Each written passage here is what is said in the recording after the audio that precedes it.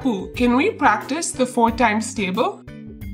Yes, let's do it.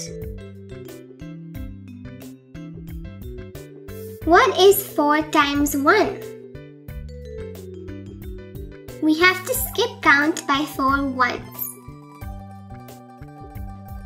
So the answer is 4. What is 4 times 2? We have to skip count by 4 two times. So the answer is 8. What is 4 times 3? Thank you for watching. Enroll now.